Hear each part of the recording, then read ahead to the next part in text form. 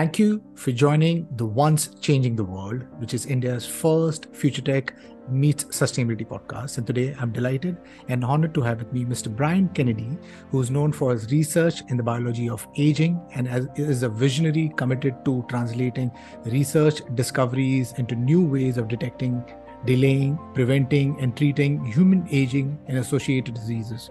He was the ex president and CEO of Buck Institute.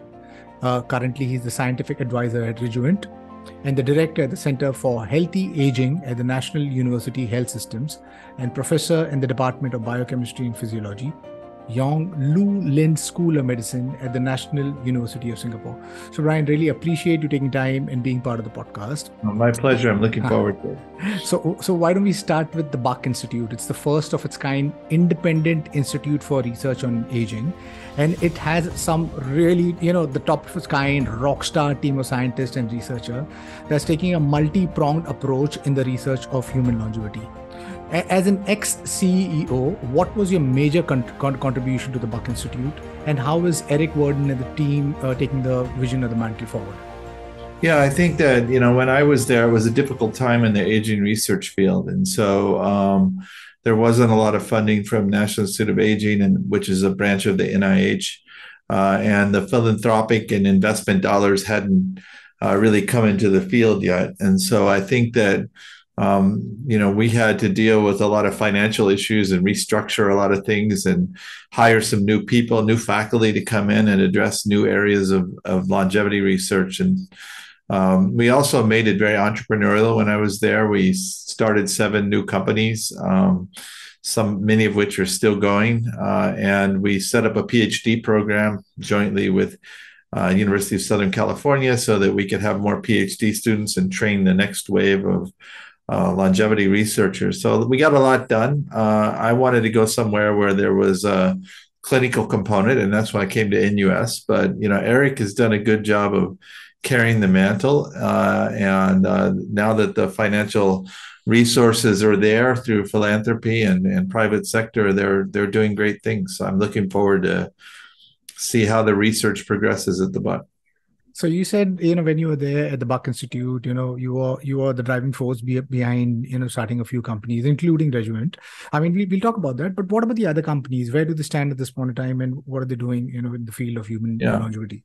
There were a couple of companies around trying to develop programs to help people with cognitive impairment, and they're still going. Um, there was two program, two companies developed to uh, uh, study derivatives of rapamycin. So you may know rapamycin is one of the most promising drugs to extend lifespan and health span, uh, but it has side effects. And so we came up with a strategy to um, modify the drug so that it had many of the benefits without the side effects. Uh, one of those companies is Torcept, and the other is Aeovian. They're both still uh, in the development phase for new drugs. Uh, and um, then also uh, we started a company with uh, it was Judy Campisi's work from the Buck and some people from Mayo Clinic uh, called that ultimately became called Unity, uh, which went public and uh, is still actively doing research to try to find senolytic drugs, so drugs that kill or inhibit senescent cells. You, you, you mentioned about uh, rapamycin. Uh, there are others also working on repurposing, you know, the, these drugs. Uh, can, can you talk a little bit about that? What are the other drugs which are available, which uh, is working in the field of human longevity? Yeah, so the two companies we started were like making new drugs around related to rapamycin. But as you point out, there's another approach, which is to repurpose drugs that already exist for other reasons and are clinically approved for other reasons. One of them is rapamycin, which is for immune suppression, but also you have metformin, uh, which is an anti-diabetic drug uh, that is part of this TAME trial, uh, which is to try to prevent multiple different kinds of chronic diseases simultaneously, and that's being led by Nir Barzilai. Um, and there are a number of other drugs that are being developed for aging. Essentially, I think a lot of these drugs that target risk factors for disease, like metformin targets hyperglycemia, which is a risk factor for diabetes. um, also risk factors for for cardiovascular disease that treat hypertriglyceridemia or high cholesterol. These drugs are candidate longevity molecules. They're targeting very early stages of disease processes that probably relate to, to the how people age. So it's an interesting opportunity because these drugs have already been through a phase one, phase two, phase three. The safety data is already in existence. We know a lot about them. And if we can use them to actually slow or reverse aspects of aging, that may be one of the quickest ways to get drugs on the market. Uh, you you mentioned in the course of conversation, you know, about Judith Campisi. She's a pioneer in the space of cellular senescence. Can you yeah. talk a little bit about that? And yeah, I mean, she's been doing research in cell senescence for a long time now. Um, really cutting edge research. Uh, a lot of her initial work was really characterizing why senescence happens, uh, when it happens in the body, how it relates to cancer. It's a protective mechanism to keep cells from becoming cancerous. But then her later research, she found out that these senescent cells also secrete a bunch of factors called infl- they're it's called the senescence associated secretory profile. These are senescent factors, uh, or inflammatory factors, excuse me, um, that may promote cancer progression in cells around them. So there may be a cell autonomous inhibition of cancer, but a, a paracrine effect driving cancer in other cells. So uh, there's a complex relationship between senescence and cancer. And she's also been very interested in how much senescent cells contribute to the aging process. And so, um, based on her research and, and work by uh, uh, Jim Kirkland and uh, Jan van Deursen at Mayo, they came up with strategies to find drugs that would get rid of these senescent cells. Uh, and that's certainly one of the interesting pathways to look at in the longevity medicine space right now. Right. Yeah, yeah. I mean, yeah, there are there are a lot of people who are pushing the senescence pathway. So you you be, you are the scientific advisor at Rejuvant, and Rejuvant uh, has these life tabs, uh, calcium AKG dietary mm-hmm. supplements, which promises to lower the biological age by eight years. Uh, okay, can you talk about that? Uh, is it been clinically proven? Is it effective? What's the uh. science behind it? The sales of the supplement so far, and uh, are there any studies being conducted? you know, post customers taking the supplements. Yeah, let me clarify a bit. Um, we found in the first study we did, and this was individuals taking the product for seven months, that they had a seven to eight year reversal in biologic age using a, a DNA methylation uh, test as a, a, biomarker of aging. Um, so I don't know that we're promising that. That was the observation we found in, in that one clinical study. Uh, we've done another clinical study since then and it, it this one is a placebo controlled uh, more standard study. The first one was with just reusers of the product.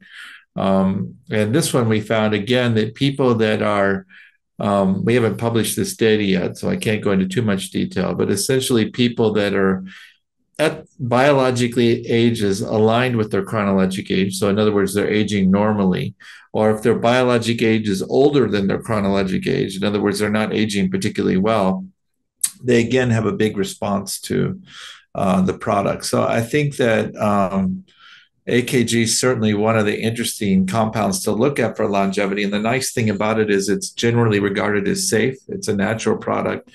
Uh, and it's been tested in many different ways, and there's never been any safety issues with it. So uh, it's on the market through Ponce de Leon Health. And uh, I think that if people want to be early adopters, and try supplements that may affect the aging process, uh, this is certainly one of the options out there. Talking about supplements, I mean, you know, b- besides this, the Rejuvant uh, Life Tab supplement, uh, if if there are people who are looking at you know leveraging these uh, supplements on the market, w- what are the other supplements that you would kind of advise or uh, point uh, the audience towards?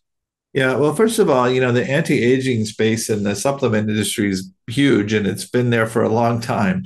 I think what the longevity research field has done is we've brought in some science behind it. And we're actually trying to validate what things are working and what things aren't working and why they might be working. So you can go get a lot of things in, in the GNC store that are say that they're anti-aging, and some of them may work. It's just that there's not a lot of science to validate that. So what we're trying to do is put that real science behind it. Um, one of the other major classes of molecules are NAD boosters. Um, so this NAD is another molecule in your body. It's kind of in a sense like AKG. It's a central metabolite. It participates in many, many chemical reactions in your cells, and it goes down with aging. Uh, and uh, supplementing it back up appears to provide health benefits. Uh, but you can't add NAD directly. You have to use a precursor or a booster, such as NMN or NR, which are both available on the market, although NMN is um, may or may not be classified as a natural product going forward. There's FDA's had some rulings on that. Uh, so I think that this is another area to look into. That there's a lot of research uh, now this aging field obviously i mean you know there are some of the top scientists researchers in the world who are working on this field.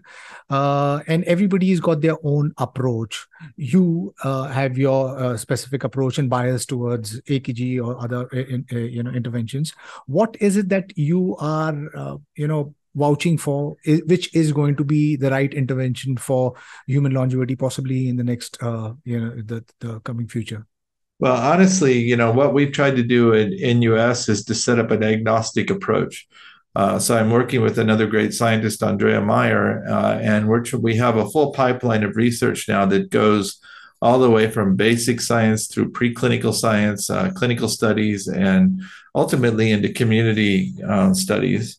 Um, and the idea is not to test just one thing. I, I, of course, I like AKG, but I, I don't know if it's the best thing for humans. And um, nobody knows what the best thing for humans is yet, but the vast majority of the data is from animal models. So we're now validating things in animal models in our hands and then moving them into human clinical studies. And we want to test five to 10 different kinds of molecules against biomarkers of aging and really begin to understand which interventions work best in which people. Uh, I think that until we take it, somebody takes an agnostic approach like that, we're not going to really know what's going to work best. And uh, so, you know, I, I, I like AKG, of course, but you can make a case for NAD precursors, or, I mean, I also like rapamycin a lot, uh, you know, and, and there are many other candidates. There are probably 40 legitimate things we could test now in humans that have good safety profiles. Uh, so let's start doing it and it, it let the let the molecules compete against each other. so, yeah, can, can you talk to us about your current uh, research works update? Sure. So uh, on the clinical studies, you know, one of the things we're doing is how do how do we do a clinical study to to, to test aging? Uh, and um, so we're trying to define those parameters, Andrea and I and our colleagues. Um, you know, you could do a TAME-like study, which is uh, the metformin study in the US, but this is 3,000 people taking the drug for three years and 14 centers, and it costs $70 million. Um, and the idea there is to prevent multiple chronic diseases simultaneously in a population of 65 year olds or something like that. Um, I think that's a great study. I'm supportive of it, but it costs a fortune, takes a long time. So, what we're trying to do is use these new biomarkers of aging as endpoints. And so that's like epigenetic clock. Uh, there are many different clocks out there now. None of them are completely validated, but uh, in our hands, they look like good measures of how fast a person's aging. So we're using those and then testing whether interventions slow or reverse those clocks, like I mentioned with AKG. And I think that allows us to do studies at a much lower cost, and then we can do a lot more studies. So we're really trying to define the parameters on how to do uh, longevity studies on the clinical side. On the preclinical side, re- really it's about finding new interventions. And there's two things that we're becoming focused on. One is how do we combine interventions together in mice to have synergistic effects? And you might think that's trivial, but turns out it isn't. I can't predict what's going to happen when we mix two things together. Sometimes they cancel each other out. And so you have a lot of people that are taking 10 or 15 different things. I have no idea what they're doing. So now we're going back in the mouse studies and we're trying to figure out if we can get, first of all, understand the mechanisms by which these interventions work, and then which ones combine together to have bigger effects. I think that's going to be important how does the, the, these clinical trials in, in these mouse uh, translate to humans well um, you know, there's been a lot of arguments in the pharmaceutical field that mice are not such a good model for human disease. And that may be true because when you think about it, mice generally don't get diseases identical to humans. So if you want to study a human disease like Alzheimer's, you have to engineer that disease in a mouse. So you're looking in a non, uh, kind of an artificial situation. And then on top of that, you do it in a young mouse when it's old people that get Alzheimer's. And so I think that we, I, I'm trying to help redesign mouse experiments so that they're a, they're more human like. So we want to use age appropriate mice. So if the human gets the disease at 80 years, we need to study the mouse at 24 months or 22 months, not at three months, you know, things like that. And also, we don't make artificial diseases. We're looking at the natural aging process in mice. And we think that even though the what happens in the brain is a little bit different. You get degeneration in both contexts, and the same thing in the liver and the muscle. And so we think by looking at the natural processes that are driving this uh, and slowing that down, looking for interventions that slow or reverse aging, it's more likely that'll correspond to the natural processes in humans. And finally, we're not doing survival studies in the mice anymore. So um, traditionally, the way to look at aging was to see how long the animals live there's nothing wrong with that except it takes a long time and we're not doing the human studies like that. So we can't give a 50 year old a drug and see if they live longer or not. I don't have any graduate students that want to do the phds that last 40 years. So um, we're doing the human studies at six to nine month interventions with biomarkers and so now we're doing that in the mice. We start with middle-aged mice and do six month interventions and look at biomarkers and frailty rather than survival. So i think it's about how do we align the mouse studies in a way that they'll be a better model for human aging. Uh, the, the, so there, there are a lot of these teams who are kind of studying nature, you know, animals specifically, you know, because there, yeah. there are things which is happening in the nature, speci- specifically with a few animals like the jellyfish, bowhead whale, and others. Yeah. Uh, eh, eh, they, they're trying to mimic that. Uh, what, what are your views on that? Is, is, that possibly one of the approaches? I mean, maybe talk about yeah. that. And what are the other approaches besides this, like mimicking the nature? Are there other approaches which has caught your attention, which could be like the approach for, to for so there are two kinds of sort of ways you use animal models. One is that you use things like mice because they're models for humans. So, uh, and that's what we just discussed already. Or even simpler systems like worms and flies and yeast, they age very rapidly. So you can do experiments very quickly, and at least some of the pathways you find are conserved in humans. Uh, but there's another approach you can take too, which is to find animals that have exceptional longevity. So these are animals that live a very, very long time. Naked mole rats are a classic example of this. Um, whales, uh, there are clams, there's all kinds of species that have very low rates of aging or even negligible aging. And so then you can ask the question, what is it about that animal that makes it live such a long time? Um, now, in the past, that's been limited because you can find things that are different in those animals, but those are correlations. You can't infer from that that that difference is what's causing that animal to live a long time. So what's happening now that I think is cool, and uh, an example of this is Vera Gorbunova's lab at Rochester in New York, is that they found a difference in naked mole rats in terms of how they produce this molecule called hyaluronic acid they have a very a longer version of hyaluronic acid and that provides benefits. And so then they engineered a mouse that makes longer hyaluronic acid and sure enough the mouse lives longer. So that proves there's some causal effect to that molecule. So yeah i think there's a lot to be learned from studying these exceptionally exceptionally long-lived animals. It turns out that they may all have figured out different mechanisms to live a long time. So we may learn something different from each one of them but the key thing is finding out whether it's applicable to humans or not. Right, and this this whole thing is so complex, which you pointed out in the beginning of the conversation, and it's it's a complex problem, you know, solving uh, for aging.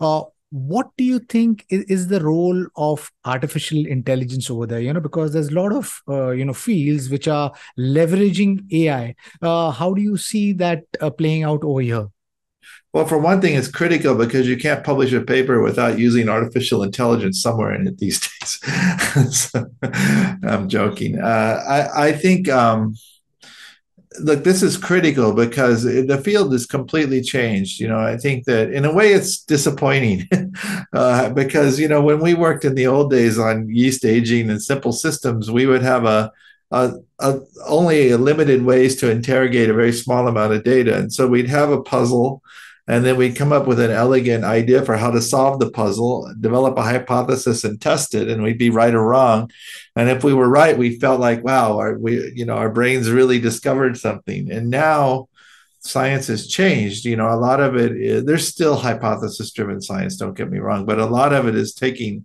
huge data sets with lots of omics you know transcriptomics or dna methylation patterns or whatever and then feeding that into a computer and letting it use machine learning or cognitive neural networking to determine you know patterns and identify pathways that are that that may drive aging or measure your aging rate. And it, it, turns out I think it's very effective. We're doing a lot of this in our lab now, and there, it's kind of fun in a way. But the frustrating thing is it spits out an answer and then you're like well why is that the answer? It's it's almost like the douglas adams book where the answer to the whole world is 42 you know? It's like well what does that mean? You know and, and i feel like we're kind of getting there in some ways. But the truth is that the ai approach has really moved the field forward both in terms of diagnostics and in terms of um, trying to find new interventions. So um, it's an exciting component to the field Right. Yeah, yeah. Though, I mean, at this point in time, AI is completely a black box.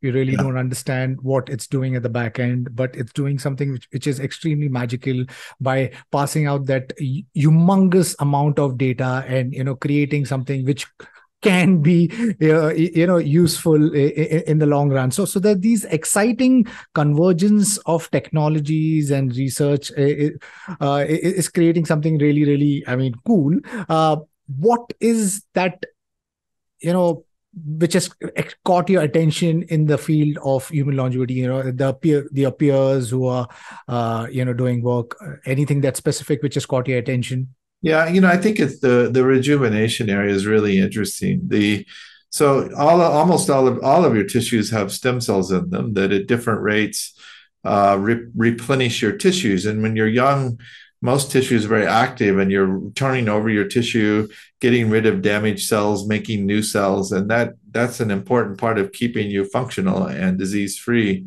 and during, as you get older those stem cells become less functional and you uh, have a harder time replacing your tissues. Uh, and i think that you know if you can reprogram cells back to stem cells uh, then you can sort of restore that differentiation potential and that uh, proliferation potential in your tissues and rejuvenate them as you get older. And so, the, taking advantage of the knowledge of IPS technology, where you can reprogram cells in a dish back to stem cells, now there's strategies to try to do that in vivo to take the somatic cells in your body and reprogram some of them back to stem cells. The early data in animals is promising. Uh, there's a lot of issues with this. You you don't want to make cancer cells, which uh, you might do if you create cells that are truly ES cells. So you want to partially reprogram them. Uh, I think this is there's a lot to be done there, and it's probably not ready for prime time in terms of humans. Uh, but on the other hand, I think it's one of the things that could potentially have a very large effect on longevity in the future. Right. I, I think Altos Bioscience uh, and, and a couple of others are yeah. taking the uh, uh approach. Um, uh, is there any regimen that you follow and is there any advice that you would give to our listeners who would want to kind of explore the opportunity well, I, yeah i take the Rejuvant product which is the akg product and i do it because it's safe and uh, you know i think the data is promising I, I think you can there's two things I would say. First is lifestyle is important. you know, you may not want to hear this, but if you can do sustainable exercise, and that would be some cardiovascular exercise, a little bit of resistance training, if you can have a healthy diet, um, and we can talk about what that is if you want, if you can manage your stress levels, if you can get work on your sleep quality, which is sometimes harder to modify than the other three, you're going to have, be healthy longer. On average, you might be healthy 10 years longer just by doing those things effectively. They're not easy to do. uh, but but they work. Uh, and then when you're looking at the supplements and other things out there, it really depends on your um, desire to be at the cutting edge, do, trying things that are not fully validated yet, or whether you want to wait five or 10 years until we have more data. I think that there are safe things like the AKG product that you can try if you're interested. Um, there also you can get your aging measured now. There are many companies that you can send your blood or saliva into, and they'll es- estimate your biologic age. Um, there are also longevity clinics around the world where you can, you know, spend a lot of money getting everything in your body measured, and uh, and then come up with a personal plan to make you be as healthy as long as possible. Um, I think a lot of those places are doing really cool stuff. Again, a lot of it's not fully validated yet. So I really believe if people are educated, they're told the benefits and the any potential risk, and they feel like they want to move ahead with this, they should be allowed to do that. But we need to make sure that whatever we're doing for people right now, we're transparent about the knowledge we have and the knowledge we don't have. I think what gets me nervous in the field is when somebody says, if you do this, you're definitely going to live longer, because we really don't have, eh, beyond exercise, maybe we don't have, we don't have enough data to say that with all, any of the pills yet, I believe. So. Right. Yeah, yeah. So yes, I mean, you know, the traditional uh, path to follow is, you know, healthy diet, stress-free life, exercise, mindfulness, and with it possibly the supplements, you know, which which will uh, uh, uh could help. Though this this is a promising field, I guess uh, uh, you know, I believe aging is, is the biggest problem that we're fa- facing currently. You know, and if we solve this problem, I think humanity will be much better off. Though the problem is of the population, you know, because we just recently you know crossed 8 billion. How does that work? Do we get onto the metaverse? I mean it, it, it's it's a little uh, but yeah yeah but what what you what, want me what, to solve all the world's problems. Like uh, what, what would be your your timelines? I mean you know if we yeah. had to say that you know if you had to put a, a, a number to the timeline when do you think you know we would have hum, human longevity accessible for everyone? Well, there's a lot of questions there. First of all, let me say we did go over 8 billion, but the rate of uh, repopulation is going down rapidly. You know, in Singapore, we're only making 1.1 offspring for every couple. Where you know, so that's not even half of what, or about half of what's needed to repopulate the keep the population normal. And even in India, the reproductive rates are going down dramatically. So, uh, I, you know, that's what drives population is reproduction uh, and uh, how many kids you have per couple, and that's going down everywhere. So it's unclear what the long term effects on population are going to be. Um, let's say we completely stopped aging by some magic thing, you know, and uh, all of a sudden nobody was aging. Uh, people would still die and they would get in accidents and things like that, but at a very low rate.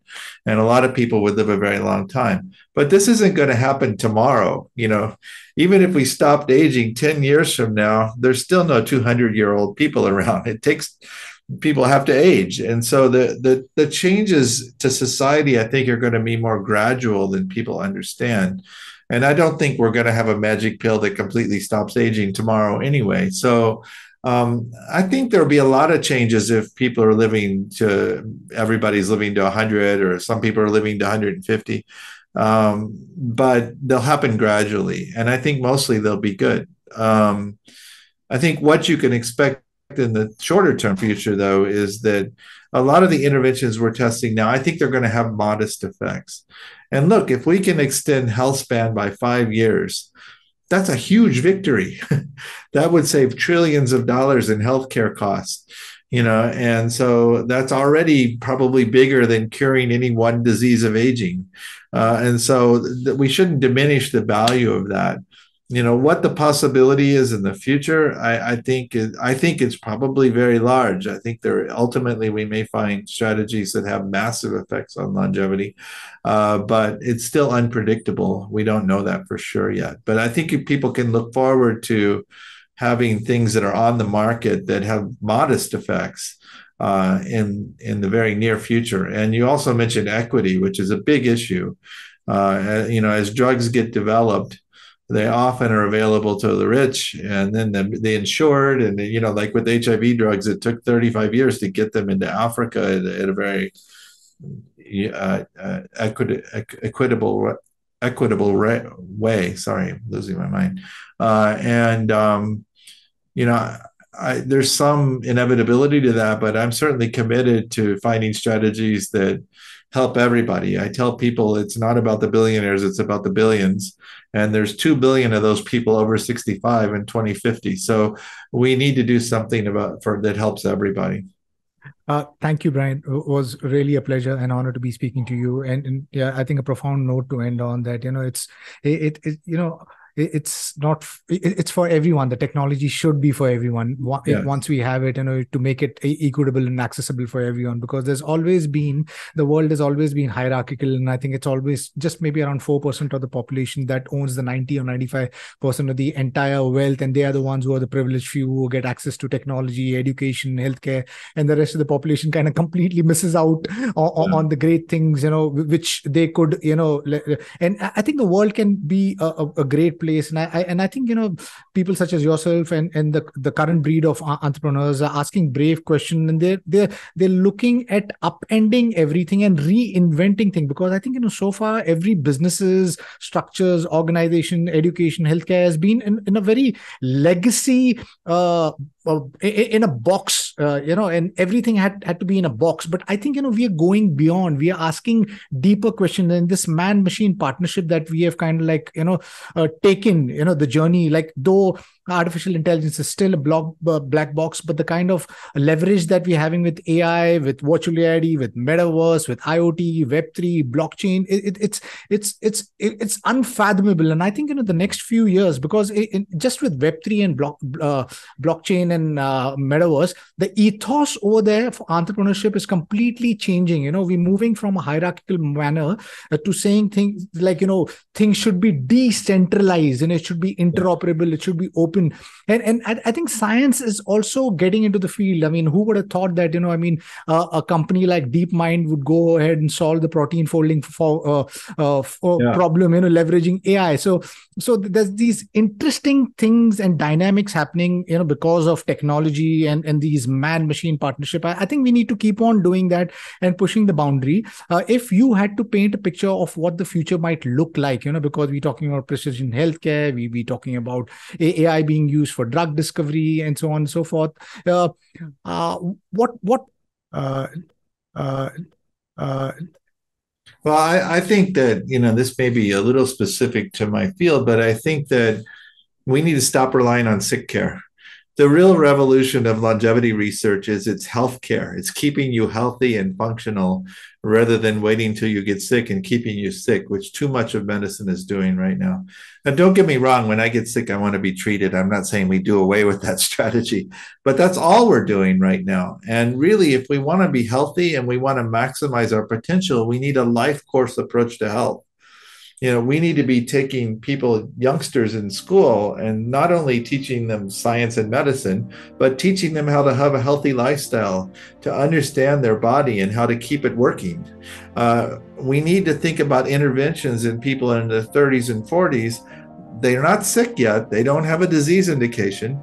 But if we target aging which is the biggest risk factor for every problem we can not only prevent those diseases, but we can improve their performance now, you know, in their 30s and 40s. They'll have more energy, they'll think better, they'll function better.